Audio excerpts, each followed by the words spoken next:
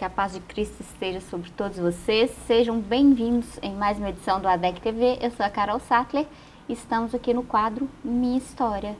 E hoje estamos recebendo aqui no estúdio o pastor Wellington Vieira da Silveira. Vocês já viram o pastor por aqui algumas vezes.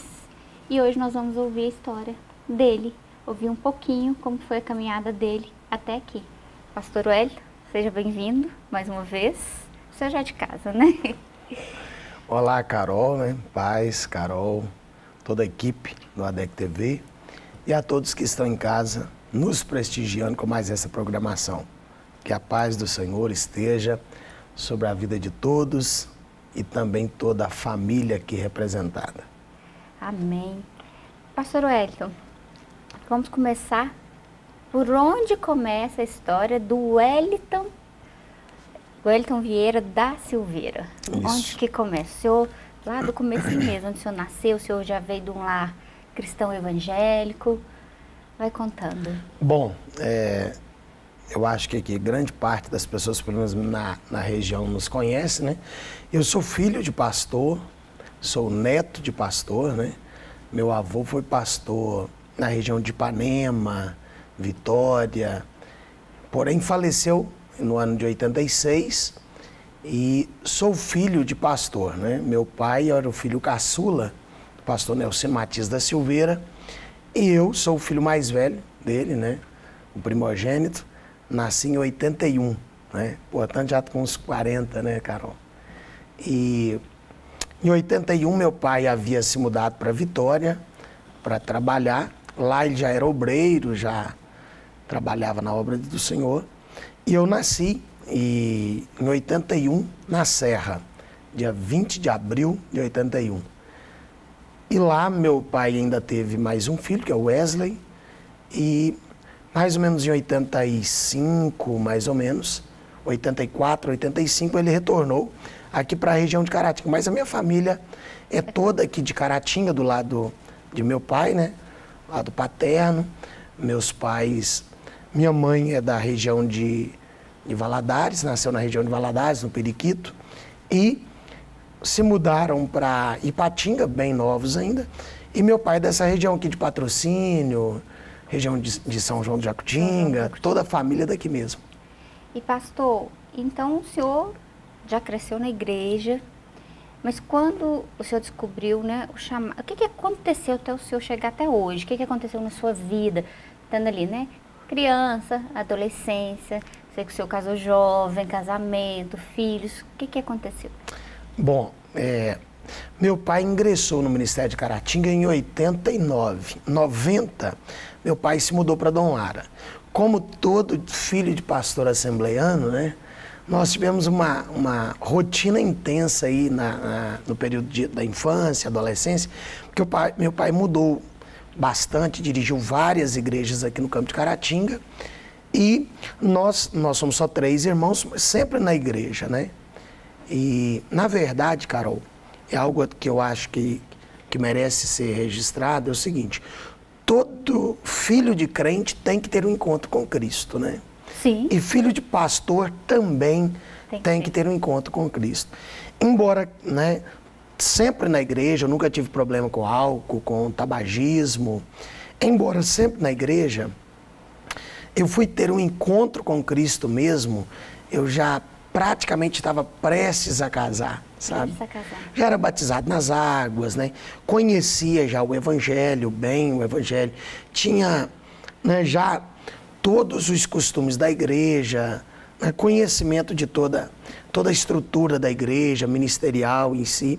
Porém, eu tive uma experiência pessoal com Deus mesmo, com Cristo, um pouco antes de casar. E um fato interessante é o seguinte: filho de pastor quase sempre quer fugir né, da questão ministerial. É, eu diria assim que eu nunca imaginei estar onde estou, sabe? Como obreiro, né? Nunca me imaginei. Eu, muito novo, lá em casa a gente foi criado de uma maneira que todos nós criamos independência muito cedo. Uhum. Muito cedo. Nós somos três, como eu já disse, todos três casaram muito, no, muito novos. Não, nós somos dois, dois homens e uma, e uma menina. Uhum. Eu sou mais velho, Wesley é o segundo e a Williane é a terceira, né? Mas nós criamos assim uma independência muito rápido, né? Todos nós casamos muito cedo, cada um foi tomar conta da sua vida. E quando novo, eu fiz de tudo para entrar nas Forças Armadas, sabe? Era meu sonho, né? Fiz de tudo. Fui para o Rio, muito novo, para a ilha de Marambaia, tentar, na época, me alistar no quartel da Marinha. Depois, na época do alistamento, eu me alistei em Juiz de Fora para o uhum. Exército, no 14º Belog, tentando servir e seguir carreira, mas não era isso que Deus queria, né? Essa é a verdade. E aí, meu pai morava em Miradouro, no ano de 99, e em 99 ele foi transferido para o Baixio do Oriente. Aí lá eu conheci a Márcia, namoramos dois anos e cinco meses, né? coisa de crente mesmo namorar. Dois anos. Mas pouco tempo, na minha época, dois anos e cinco meses já era muito tempo, né? De namoro. Aí namoramos dois anos e cinco meses e eu me casei em dezembro de 2000. Portanto, vai fazer agora 20 anos já, né? De casados, graças a Deus. E aí começamos a nossa história, né? Como todo início, né? Muito difícil, mas cheio de amor, aquela força, alegria, né? De estar casado ainda muito novo. Aos 23 anos eu já tinha meus dois filhos e trabalhando secularmente. Quando eu me casei, que, que eu pensei? Meu pai, nessa época que eu me casei, pastoreava o bairro das Graças. E aí eu pensei assim, poxa, eu vou congregar em outro bairro não vou ficar congregando com meu pai, porque eu não quero esse negócio de igreja, de ministério, quero ficar mais na minha, né? queria servir a Deus, mas queria ficar mais, como dizem aí fora, mais de boa, né? E aí mudamos para o Limoeiro, casamos em dezembro. Em janeiro de 2002, nós começamos a congregar no bairro Limoeiro. Na época, o Limoeiro, não sei se você lembra ou se alguém que está nos assistindo lembra, nós não tínhamos o templo ainda, era, éramos um salão. No final da Cabo Geraldo, tinha 56 membros aproximadamente, e eu fui congregar ali. Lá no Limoeiro eu comecei a tomar gosto, sabe? É, pela, pela, obra, pela obra, né? Pelo serviço eclesiástico. Embora filho de obreiro, filho de pastor, já tinha uma facilidade enorme com a escola bíblica dominical já havia dirigido alguma escola dominical, mas nunca tive um contato muito direto como eu comecei a ter no Limoeiro. Né? Foi lá que eu dirigi os primeiros cultos, foi lá que eu fui porteiro, fui recepcionista, fui secretário de ata, né? fui líder de jovens. Para você ter uma ideia, isso foi 2002, né, que nós iniciamos lá, congregando. 2003, eu já tinha os dois filhos, né? 2003, não, aos 23 anos. Então, 2005, eu já tinha os dois filhos. É, eu estava com 23 anos, ia fazer 24 anos ainda, mas eu já tinha meus, meus dois filhos, que é o João Pedro. Daí a pouco nasceu a Talita, um ano e três meses só de diferença. Bem próximo. Muito trabalho, porque a minha esposa trabalhava à noite, dava aula. Eu trabalhava secularmente, foi uma correria, sabe? Mas aí eu fui me envolvendo cada dia mais na igreja, me envolvendo.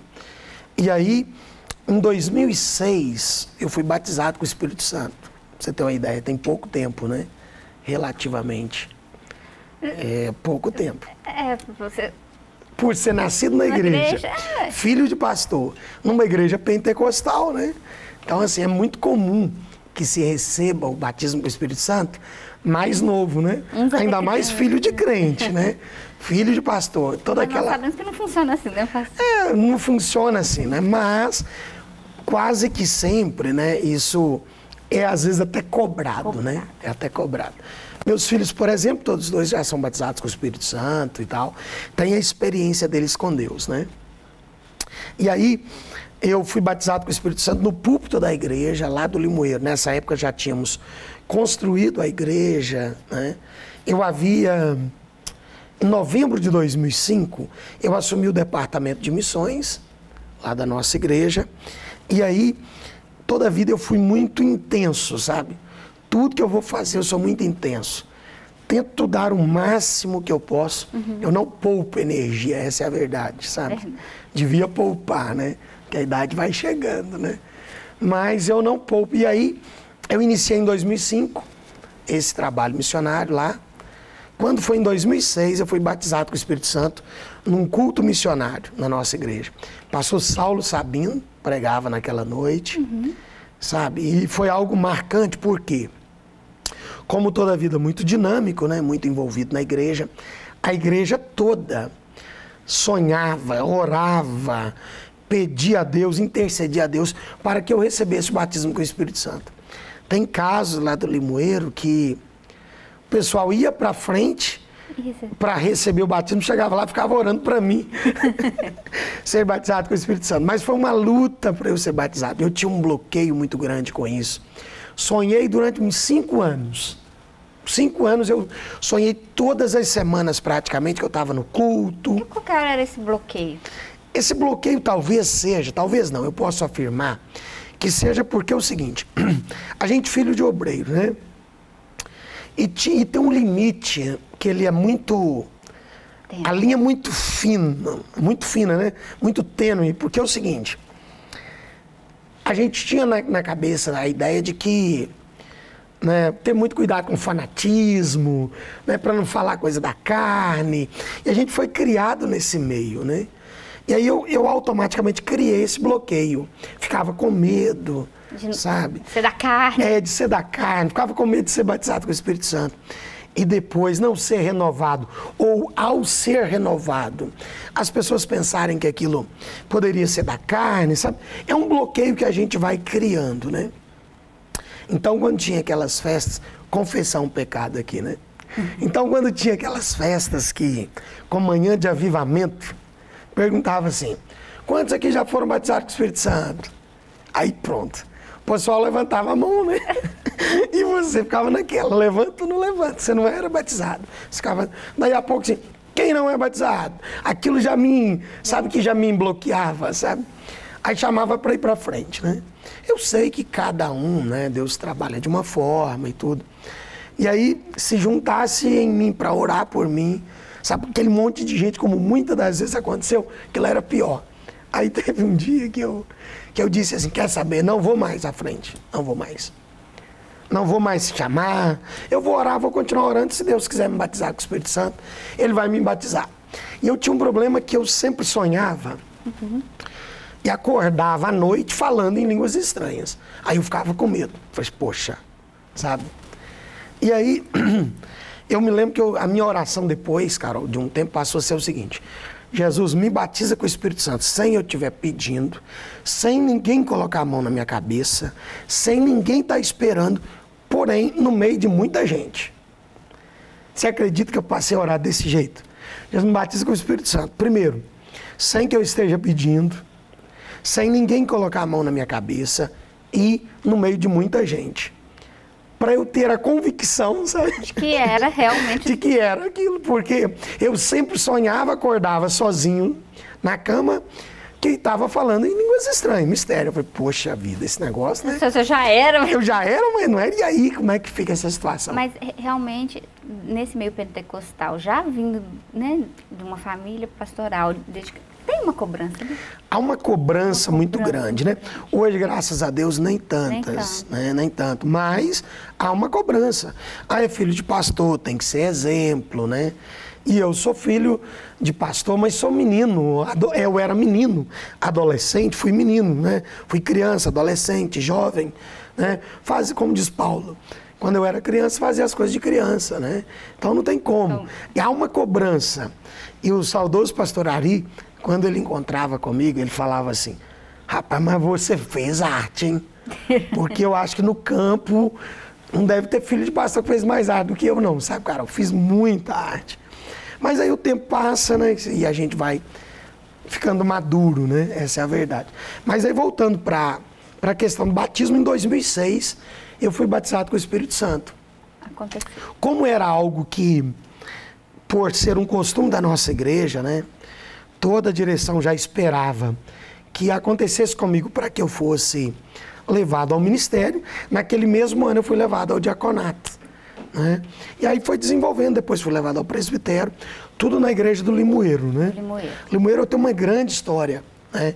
Acho que aliás é uma igreja. O senhor aprendeu a ser servo. É, lá foi que eu aprendi a. A ser servo, assim. Isso, a ser servo na obra de Na Deus, obra né? de Na Deus. igreja. Né? Foi lá que eu aprendi. E para você ter uma ideia, no Limoeiro nós éramos aproximadamente 23 obreiros, para você ter uma noção, né? Quando eu cheguei para o Limoeiro, nós já tínhamos um co-pastor, que é o evangelista Eva- Valdir, Valdir Cardoso. E aí eu fui desenvolvendo, eu era o obreiro mais novo da igreja do Limoeiro. Quando chegou em 2000 e 2009, eu fui enviado para a igreja do bairro Santa Zita. Santa Zita pertencia ao Limoeiro e dia 8 de julho de, 19 de- de 2009 eu tomei posse no Limoeiro, no Santa Zita, como voluntário. Aí fiquei lá quase três anos, de julho de 2009 até fevereiro de 2012. Fiquei dois anos e meio como voluntário. Foi exatamente nesse período que aconteceu algumas mudanças. Aconteceram, né? Algumas mudanças aqui dentro da cidade. Todos os regionais foram mudados na época. E aí o pastor Ari foi e me mandou para o Limoeiro. Eu continuei no Limoeiro, só que agora eu assumiria, eu assumi no dia 5 de fevereiro de 2012 a regional do Limoeiro. Regional- Aí me tornei pastor do Limoeiro. Sabe, agora você imagina o desafio, né? Aí o senhor, em 2012, pastor. 2012, isso. Pastor, e nós vamos parar aqui, vamos para um breve intervalo, daqui a pouco nós estamos de volta.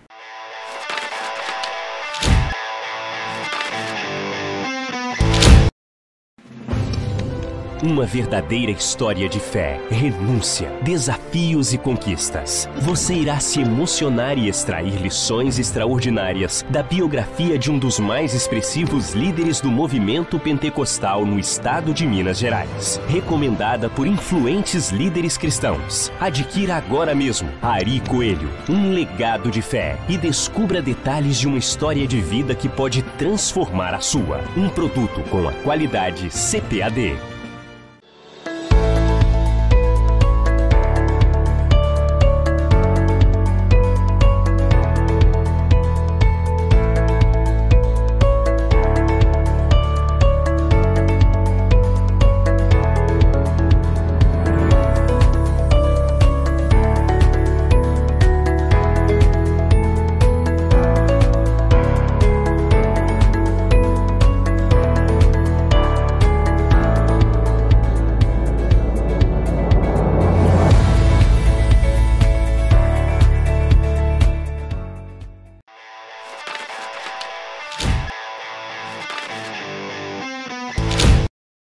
Estamos de volta, vamos continuar ouvindo o testemunho do pastor Wellington. Pastor Wellington, nós paramos quando o senhor tomou posse, já agora como pastor, no Limoeiro. Quais foram os, os desafios? A partir Bom, daí. é, na verdade, assim, no, no Limoeiro o desafio foi muito grande, porque eu praticamente nasci, né, ministerialmente no Limoeiro, né? Quando eu cheguei já tínhamos vários obreiros. Depois nós formamos uma equipe muito grande lá, né, junto com o pastor Atamil na época. E aí, assim, me tornar o pastor da igreja foi um desafio, né?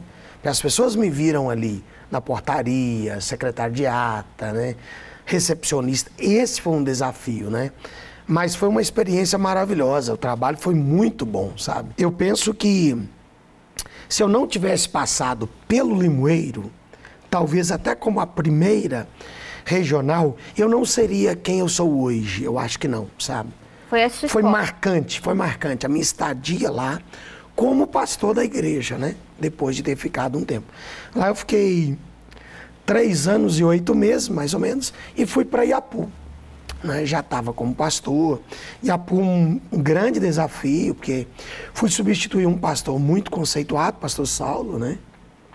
Lá em Apu. Lá em Iapu eram 12 congregações, Lá eu tive uma experiência fantástica, que eu nunca havia dirigido nenhuma igreja fora da cidade, né? Fiz uma amizade enorme na cidade, com as autoridades. Conseguimos levar pessoas que nunca haviam ido na igreja, sabe? Dei presente de, doando uma Bíblia para essas pessoas, visitava os comércios da cidade, orava pelo pessoal, mesmo aqueles que não, não eram crentes, né? Foi um tempo muito bom, de um ano um ano e seis meses no Iapu foi extraordinário. Por que, que eu digo um ano e seis meses? Porque o último ano meu é, veio a questão do, da saída do pastor João, né, na direção dos semeadores, e eu acabei assumindo os semeadores. Aí eu ainda continuei no Iapu, um ano no Iapu ainda, e, e esse foi um período difícil em que sentido? Eu vinha todos os dias para Caratinga, né? Assumi a Secretaria de Missões num período de auge, né? O pastor havia feito três congressos grandes, né? E, e, tinha a missão de dar sequência, né? Mas graças a Deus conseguimos, né? Você trabalhou conosco e conseguimos realizar ainda duas edições, né? Dos semeadores e Atualmente eu estou no Esplanada já, há quatro anos, né? Aí o senhor mudou para cá depois? Isso, na verdade, pastor presidente, na época, pastor Ari ainda, pastor Eliseu já estava na diretoria, achou por bem que eu retornasse para Caratinga, né? Aqui eu fico mais próximo do escritório, né? Todos os dias eu estou ainda no escritório e atendo hoje a Regional do Esplanada, que aliás, um beijo e um abraço a todos aí da ADEC Esplanada, a nossa grande família ADEC Esplanada. Um abraço também para todos os Esplanadas. Eu sei que lá é uma benção. Uma benção. E né, os desafios são grandes, porque né, a gente não está fazendo o congresso dos semeadores, mas a Secretaria de Missões está todo vapor. Todo vapor, Nós, todo vapor. Inclusive já fizemos um Já, já falamos aqui, né? Inclusive a gente deixou, por exemplo, de fazer os congressos, né? Mas eu visito todas as regionais do mês de maio para cá. Todos os sábados eu estou nas regionais, na né, finais de semana, atendendo ainda a nossa regional no, no, Esplanada, mas tem sido um período de grande crescimento. A nossa Secretaria de Missões está cada vez mais crescendo, estruturada, com vários projetos missionários, né? Deus tem nos abençoado abundantemente, né? Eu, eu considero que eu sou um cara realizado, né? Sabe? Realizado. Sou quarentão daqueles bem vividos, sabe? Já passei por N's, N's coisas, Eu mas... até chegar nesse ponto, pastor. A gente falou muito dos desafios da sua... Ministeriais, né? Ministeriais, né? do seu crescimento no ministério. E os desafios pessoais? Teve Ixi, alguns é. perrengues por aí? por exemplo, né? Na verdade, eu acho que não tem ninguém que não tenha, né? Não. Esses altos e baixos, esses percalços, né? Na vida, no dia a dia. Todos nós temos. Isso é muito bom porque faz a gente crescer, né? Sim. Muito Sem bom. desafio. Muito, muito bom. É, muito bom. Porque é o seguinte, a cada desafio superado, né, são lições que você aprende, né? São marcas que, inclusive, vão ficando na vida da gente, né? Por exemplo, o primeiro desafio, é, após casar, né? Que casar é um desafio, né, Carol? é. É. Tem gente aí que a gente sabe que é um desafio. Brincadeiras à parte, né? Mas até Paulo já avisa, né, nas cartas dele, né? Olha, se você vai casar, você vai ter dificuldades, vai ter desafios. Pois é, mas é. Brincadeiras à parte, parte, né? É. Eu tenho um colega que diz, Carol, que é melhor casar do que morrer queimado, sabe? mas. É. Eles ficam brincando assim, né? Porque... Não, não. Na verdade, eu sou um dos pastores que mais brinco aqui no escritório. Isso é porque o senhor só tem 20 anos, né? Só, só 20 anos de casado, né? Mas o seguinte, é, brincadeiras à parte, meu casamento é uma bênção de Deus, sabe? Minha esposa é um presente que Deus me deu, Carol, um presente. Presente mesmo, Márcia. sabe? Glória a Deus pela vida da Márcia, né? Uma calma que só, sabe? Graças a Deus. O João, Thalita, são presente de Deus. Mas eu tive muito desafio. O primeiro desafio foi no próprio casamento em si, a questão da igreja, Carol. Muita gente não sabe disso, mas eu vou confessar também aqui, né? É dia de confessão. É confessionário aqui com a Carol Sattler. É o seguinte, Carol. é, eu tive um grande desafio no início do meu casamento. Porque, é, bom, como eu sempre fui muito intenso, recém-casado, eu comecei a tomar gosto pelos trabalhos da igreja. Eu, mas a minha esposa, a gente tinha vários problemas por causa disso. Muito proativo, né? Muito proativo e a gente tinha vários problemas, sabe? Eu sou daquele que não gosta de faltar de nada, sabe? De jeito nenhum. E aí, você imagina, né? No início, aquele desafio. Ela é filha de obreiro, cheia também de alguns traumas, né? De uhum. filhas de obreiro e tal. E aí, a gente brigava sempre por causa de alguma coisa da igreja. E aí chegou um momento, um marco, sabe, na vida da gente. E aí mudou tudo, tudo, tudo, tudo, a partir disso aí. Mas antes, em 2003, em janeiro de 2003, é de conhecimento de todos os caratinguenses, né? Nós tivemos aqui uma enchente, né? uma das maiores enchentes na cidade, me, me, me parece que dia 16 de janeiro. E eu morava num daqueles prédios que caíram lá próximo à rodoviária nova. Perdi tudo ali, Carol. Tudo, tudo, tudo. Fiquei com a roupa do corpo. E esse relógio aqui que eu faço questão de andar com ele, tomar banho, dormir, sabe? Esse relógio. Foi a única coisa que eu fiquei de valor na vida. Aliás, pessoal, a, a, é, depois da vida, claro, que é o bem maior, né? Mas em 2003, na madrugada. Vocês estavam todos em casa? Do dia 16, numa quinta-feira, 10 para 5 da manhã, foi que os prédios caíram lá, sabe? E aí foi um desafio enorme. Eu quase morri, eu tive que. Eu desci pela água abaixo, por, por água abaixo, até quase ali, quase próximo à faculdade, mais ou menos. Aí saí na rua, é, Moacir de Matos, e graças a Deus saí com vida. Todo cortado. O senhor conseguiu sair sozinho? Saí sozinho, porque na verdade, o que, que acontece? No período exato que, a, que o prédio caiu, nós estávamos no primeiro apartamento, no térreo, eu e um colega. Eu e a esposa dele, a minha esposa, havia subido no terraço para olhar a enchente, sabe? Ah, vamos ver a enchente, como é que tá a água. Aí, naquela noite, choveu a noite inteira. E a gente dormiu, certa hora da noite a gente acordou, a chuva ainda continuava, ficamos preocupados e tal.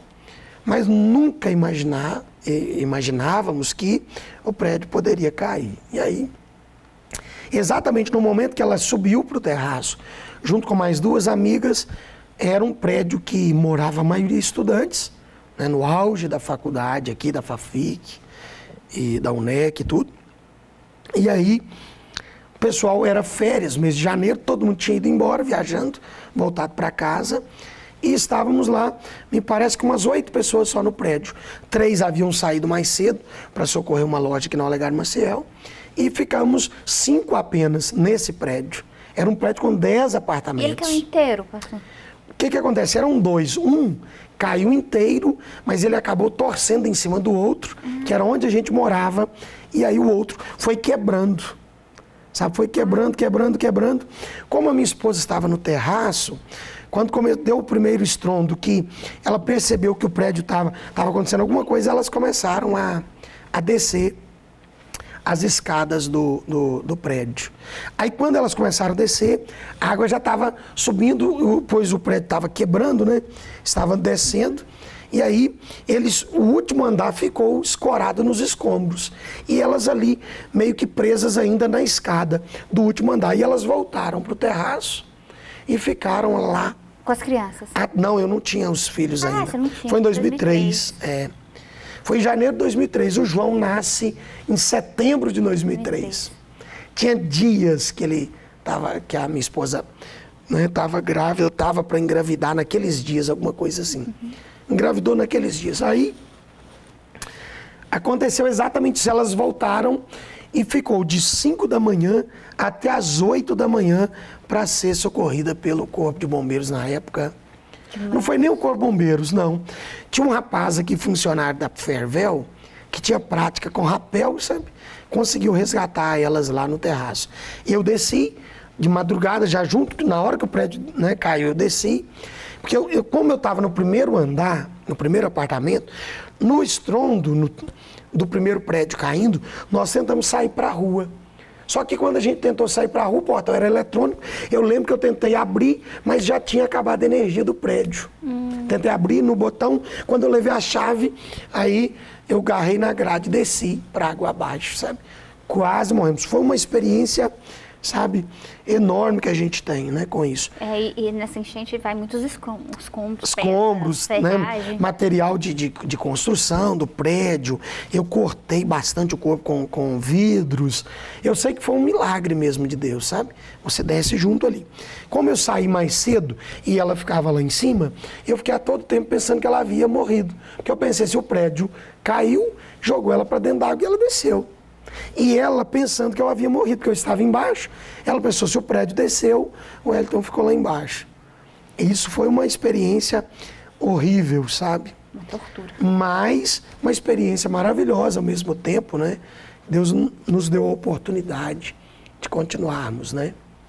E aí, você imagina, foi um desafio, porque eu tinha um ano só de casado, todos os móveis novinhos, Tudo. novos, novos, novos. Tinham presentes que a gente não tinha abrido ainda. Pra você ter ideia. A gente ganhou muito presente, sabe? Estavam fechados. Estavam fechados. Casa toda imobiliada. Eu tinha trocado de carro. Naquela semana, o rapaz viria na quinta-feira pegar um Fusca que eu tinha na época, troquei no Uno. O rapaz era da roça. Eu tinha ido no banco, pegado a reservazinha que eu tinha, levado para casa na quarta, porque ele vinha quinta-feira de manhã. Ele falou: não, não quero nem cheque, eu quero dinheiro. Foi tudo embora. Aí foi tudo embora. Foi o dinheiro embora. Foram. Eu tinha é, dinheiro, cheques, nota promissória de clientes. Foi tudo embora, sabe? Então meu prejuízo é enorme na época. E aí comecei do zero. Batalhando do zero. Usei roupa ganhada mais de ano você ter uma ideia, sabe? Mas foi uma experiência maravilhosa. A gente pôde ver o cuidado de Deus, o amor das pessoas com a gente, né? o carinho das pessoas com a gente. Foi uma das experiências mais marcantes que eu tive. Não, realmente, né, é, pastor? Tão marcante que eu fiquei, né, é, assim, pensando, poxa vida, eu nasci de novo, nasci. sabe? Esse foi o, essa foi a sensação que eu tive. Eu estava com um amigo, ele também foi arrastado. Ele também foi arrastado, graças a Deus saiu Vocês saíram né, em vida. Não, ele sa... nós saímos juntos, mas ele, ele saiu do outro lado do rio, nos fundos da Copel ali mais ou menos, eu saí do lado de cá, sabe? Mas não me pergunte como. Que alguém diz, ah, nadou. Não, você não tem jeito de nadar. Você desce lutando pela vida o tempo todo. Você está descendo junto com escombros, com enxurrada, tá com correnteza, de noite, né? Então foi um milagre de Deus. Um milagre. Com certeza, sabe? Mas Deus poupou a vida da gente naquele, naquele dia, né? Depois, uma outra experiência que eu tive é que mesmo assim a gente né, foi, foi adquirindo experiência no casamento e tudo, claro. Mas a gente continuava tendo os mesmos problemas. Eu sempre focado no, nos trabalhos da igreja e tudo, né? E ela falou, não, eu não casei com você para ficar dividindo você com, com a igreja. Nós gostamos um pouco mais. Coisa de mulher, né? Coisa de mulheres. E aí, mas aí, menina, teve um dia que, Carol, em 2008, cinco anos depois, eu tive uma outra experiência, sabe? Já era presbítero, não dirigia a igreja, mas já, eu já era presbítero, eu estava com 27 anos. Eu sofri um grave acidente de moto. De moto? De moto, quase morri. Na cidade? Na Aqui na cidade, cidade, pertinho, ali, naquele antigo trevo que tinha, naquele não é nem trevo, no contorno que tinha ali, ainda tem, só que agora modificou, melhorou muito. Né? Próximo à Torre Forte ali, uhum. eu sofri um gravíssimo acidente ali. Na época eu fiquei 60 dias de cadeira de roda, quebrei os dois punhos, quebrei o colo do fêmur, tive que ir para Belo Horizonte fazer cirurgia com urgência, sabe? E aí foi naquela, naquela data exata foi que nossos problemas acabaram, sabe? As nossas discórdias, entre a questão ministerial, de igreja, elas, elas terminaram exatamente ali. E ela já contou isso né, na igreja, como testemunho, inclusive. Uhum. Porque até aquele momento, nós tínhamos ainda né, mu muitas muitas contradições entre o que eu pensava, entre o que ela pensava. Muitas diferenças. Muitas divergências, né? Digamos assim, com relação à igreja, com relação ao trabalho da igreja. Já era obreiro, né? E tudo, mas muito, muito proativo, sabe? É, muito intenso em tudo que ia fazer. E aí, eu me lembro que na, na semana nós tivemos uma discussão. E ela disse: Olha, eu não quero dividir você, não adianta. Deixa esse negócio, diminui esse negócio de igreja e tal. Eu, eu casei com você para eu cuidar de você, para você cuidar de mim. Não que a gente não cuidava um do outro, sabe? Eu sempre procurei ter um tempo de qualidade com a família, com ela, com os filhos. Viajo todo ano com eles e tudo. Mas ela não queria que eu me envolvesse tanto, porque pastor não é uma pessoa comum, é um homem público. Não, e né? pastor tem que atender a ovelha. A ovelha às vezes liga de madrugada. De noite, de noite, de final de semana. Você está no aniversário, sabe? Você está numa viagem. Se você não se policiar, você não tem, não sobra tempo para nada, praticamente, né? E você, pastor é aquele que ouve as pessoas, para para atendê-las, né? Dá, dá confiança, aconselhamento, Acolhe. está presente nos aniversários, nas cerimônias fúnebres, você acolhe, né? Você aconselha. Então assim, você não é uma pessoa comum mais. Desde que você assume, né, uma igreja, um ministério, principalmente de tempo integral, você deixa de ser uma pessoa comum. Você é uma pessoa pública. Não é? Uhum. E é preciso que tenha consciência isso. E não só o pastor tenha consciência, mas a família do pastor também. E eles também acabam, acabam que sofrem muito. Mas naquele dia, naquele acidente, nós havíamos tido uma discussão. Ela falou assim: olha, eu quero você para mim, para eu cuidar naquele dia, no acidente, eu estava na casa de saúde todo quebrado, todo quebrado, esperando a ambulância chegar para me levar para Belo Horizonte. Ela conta que ouviu nitidamente a voz de Deus, nitidamente, dizendo para ela: Bom, você queria para você, agora toma, cuida. Literalmente, Carol, Deus falou com ela naquele dia. Olha, é todo seu, agora cuida. Eu fiquei dois meses de cadeira de roda. Ela me dando banho, me levando no banheiro, colocando comida na minha boca, dois meses. Diz ela que aquele dia ela viu que, que realmente, literalmente, Deus tinha uma chamada para a minha vida pastoral. E a partir daquele momento ela disse: Senhor, o Wellington agora é seu. Cuida dele. Faça dele o que o Senhor quiser. Use ele. E eu irei apoiá-lo em todos os projetos que o Senhor colocar na mão dele. Glória. A partir daquilo ali, nossa vida mudou, sabe? Porque ela, ela aceitou, ela aceitou o propósito de Deus para a minha vida e para a vida dela. Ela hoje é um instrumento na mão de Deus, no departamento infantil, é um instrumento na mão de Deus que Deus tem usado no departamento infantil e usado no meu ministério. Sim. Sabe? Pastor não é pastor sozinho, né? Ele precisa da esposa como companheira. Portanto, né? Quero agradecê-la, inclusive, né? por me tolerar. Ela é um presente de Deus que Deus me deu na é, missão, inclusive que Ele outorgou a mim. Ela tem sido um grande diferencial. Pastor, e nós não temos mais tempo, né? Nós ficamos sabendo um pouquinho da sua história até aqui. É, nós vamos voltar depois para conversar mais. Que bom. Principalmente sobre os ministérios, sobre a palavra do Senhor. Espero que vocês tenham gostado. Fiquem com Deus e eu vou deixar o pastor Wellington despedir de vocês. Quero aproveitar e deixar você um convite.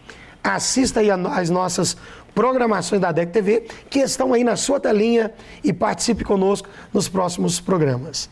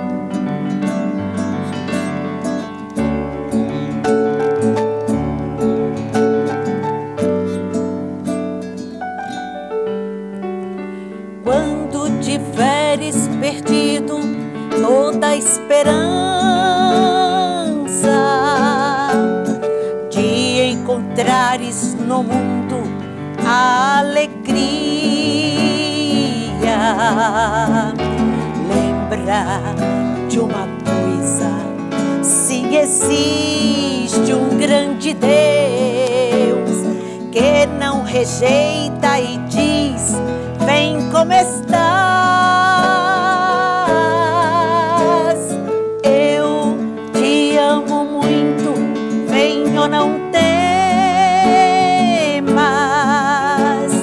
os teus muitos pecados, não mais lembrarei.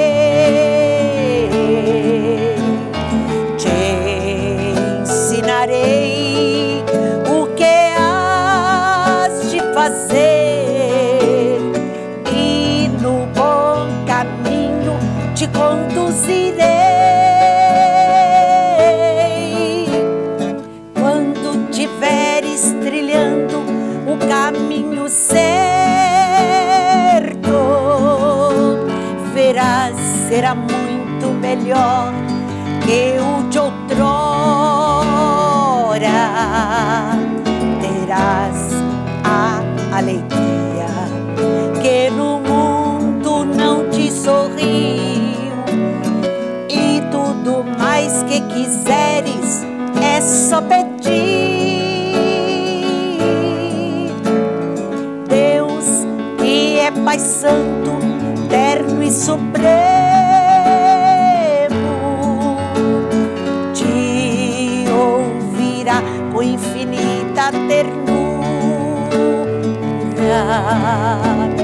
ci guarderà.